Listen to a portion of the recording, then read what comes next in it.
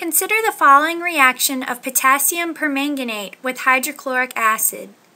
Potassium permanganate plus hydrochloric acid yields manganese 2 chloride plus chlorine gas plus potassium chloride and water. When the chemical equation is balanced, what is the ratio of the coefficients of manganese 2 chloride and chlorine gas? Is it A, 1 to 2, B, 2 to 3, C, 2 to 4, D, 1 to 5, or E, 2 to 5. One thing you will quickly realize if you try to balance this equation by inspection is that it is not easy to do. When this happens, check if the reaction is a redox reaction. If it is, in fact, a redox reaction, there's a couple of extra steps you need to do to facilitate the process of balancing the equation. The first is to identify the oxidation and reduction half reactions by assigning oxidation numbers to all the elements involved in the reaction. By now, you should know how to do this.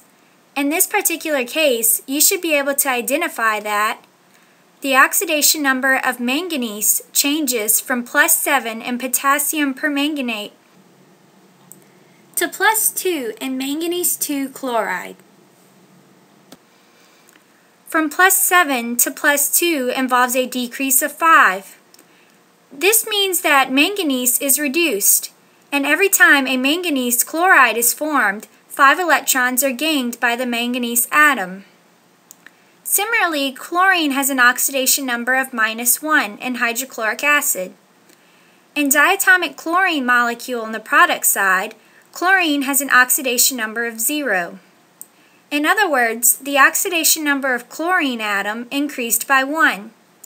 But there are two chlorine atoms in one Cl2 molecule, so we're looking at a total increase of 2 for every Cl2 that is formed. This means that chlorine is oxidized, and every time a diatomic chlorine molecule is formed, two electrons are lost. Remember that oxidation involves an increase in oxidation number, which means a loss of electrons. Now, in a redox reaction, any electrons lost must be gained. In other words, the product ratio must be such that the total number of electrons gained is equal to the total number of electrons lost. Let's examine the implications of the ratios given in the answer choices. Choice A says that the product ratio is 1 to 2. If one manganese 2 chloride is formed, that means a gain of 5 electrons. If two chlorine molecules are also formed, that means a loss of 4 electrons. 2 electrons for each Cl2 molecule times 2 Cl2 molecules. 5 electrons gained and 4 electrons lost. Choice A can't be right. Here, electrons lost is not equal to electrons gained. How about choice B, which says that the product ratio is 2 to 3? Formation of two manganese 2 chlorides means 10 electrons gained. 2 times 5 equals 10. 3 Cl2 molecules formed means 6 electrons lost. 3 times 2 equals 6. It's 2 electrons for every chlorine molecule, so 2 times 2, or 4 electrons lost. Here again, we have electrons lost not equal to electrons gained, so choice B is wrong. How about choice C? A 2 to 4 ratio is the same as a 1 to 2 ratio. In fact, if you had no idea how to work out this problem, you should at least be able to eliminate choices A and C right away. The ratios are the same. Since there's only one correct answer, both choices must be wrong. Let's look at choice D. One manganese 2 chloride formed times 5 electrons gained for every manganese 2 chloride equals 5 electrons gained. 5 Cl2 molecules formed times 2 electrons lost for every Cl2 equals 10 electrons lost. Again, the number of electrons lost does not equal the number of electrons gained. Choice D is the wrong answer. Therefore, choice E must be the correct answer. 2 manganese 2 chloride formed times 5 electrons gained for every manganese 2 chloride equals 10 electrons gained. 5 Cl2 molecules formed times 2 electrons lost for every Cl2 equals 10 electrons lost. Electrons lost equals electrons gained, which is what we want. Therefore, the coefficients of manganese 2 chloride and Cl2 must be in a, a 2 to 5 ratio. Two manganese 2 chlorides are produced for every 5 Cl2s produced we can say that every time the reduction half reaction happens twice, the oxidation half reaction must happen five times. In the process, 10 electrons are transferred. Now that we have established the ratio of manganese 2 chloride and Cl2, we can easily balance the equation by inspection. We have established that the ratio of manganese 2 chloride to Cl2 is 2 to 5. So if we put a coefficient of 2 for manganese 2 chloride, we must put a coefficient of 5 for Cl2. Note that we don't have to use 2 and 5. We can use any multiple of 2 and 5. We can multiply both by 2 and use 4 and 10, or we can multiply both by 3 and use 6 and 15. Let's see what else we need to do if we use 2 and 5. We can see that a coefficient of 2 for potassium permanganate on the left allows us to balance manganese. We try to balance manganese before chlorine because manganese only appears once on either side of the equation. We can also see that potassium appears only once on either side of the equation. It is obvious that the coefficients of potassium permanganate and potassium chloride should be the same in order for potassium to be balanced. At this point, since we have a coefficient of 2 for potassium permanganate, we should set the coefficient of potassium chloride as 2. So far, we have, a, we have balanced manganese and potassium. Let's look at hydrogen and oxygen next since both appear only once on either side of the equation. Obviously, the hydrochloric acid to water ratio must be 2 to 1. In other words, the coefficient of hydrochloric acid must be twice of that of water in order for hydrogen to be balanced. How about oxygen? There are 8 oxygens on the left side. 2 times 4 equals 8. The only way to have 8 oxygens on the right is to put a coefficient of 8 for water. In our attempt to balance oxygen, we have affected hydrogen. We now have 16 hydrogens on the right and only 2 on the left. This is easy to fix. Remember that the hydrochloric acid to water ratio should be 2 to 1. If the coefficient of water is 8, then the coefficient of hydrochloric acid should be 16. We simply change the coefficient of hydrochloric acid to 16. On to chlorine. We try to balance this last since it appears in three different places on the right. We can verify that at this point chlorine is already balanced. We can see that we have 16 chlorines on the right, 4 in manganese chloride, 2 times 2 equals 4 plus 10 in the diatomic chlorine gas. 5 times 2 equals 10, and 2 in potassium chloride. 4 plus 10 plus 2 equals 16.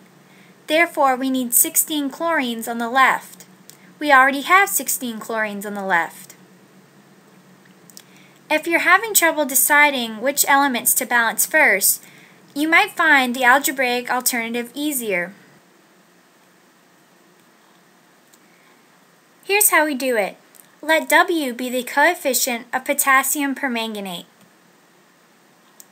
Let X be the coefficient of hydrochloric acid. Let Y be the coefficient of potassium chloride. And let Z be the coefficient of water. Now, to balance the potassium, W must equal, be equal to Y. Let's call this equation 1. The number of potassium atoms on the left is W. The number of potassium atoms on the right is Y. To balance manganese, W must be equal to 2. Let's call this equation 2. The number of manganese atoms on the left is W, and the number of manganese atoms on the right is 2. To balance oxygen, 4W must be equal to Z. Let's call this equation 3. The number of oxygen atoms on the left is 4W. The number of oxygen atoms on the right is Z. To balance hydrogen, X must be equal to 2Z. Let's call this equation 4. The number of hydrogen atoms on the left is X. The number of hydrogen atoms on the right is 2Z. Finally, to balance chlorine, X must be equal to 4 plus 10 plus Y. The number of chlorine atoms on the left is X. The number of chlorine atoms on the right is 2 times 2, or 4, from manganese 2 chloride, plus 5 times 2, or 10, from Cl2, plus Y from potassium chloride. Let's examine these equations closely. We can see right away that the first element we can balance is manganese. Equation 2 says that W is equal to 2. By setting W equal to 2, we are balancing manganese. We can then see that potassium and oxygen can be balanced in any order, since plugging in the value of W for either equation 1 or equation 3 allows us to determine the remaining variable. For example, equation 1 says to balance potassium, we must set Y equal to W, but we already know that W is equal to 2. Therefore, y must be equal to 2. How about oxygen? Equation 3 says that 4W must be equal to Z. Since we already have established that W is equal to 2, we can say that 4 times 2 is equal to Z, or Z is equal to 8. The only remaining unknown, x, can be obtained using either equation 4 or equation 5. That is, by balancing either hydrogen or chlorine.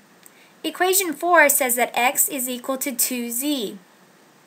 But we have established that z is equal to 8.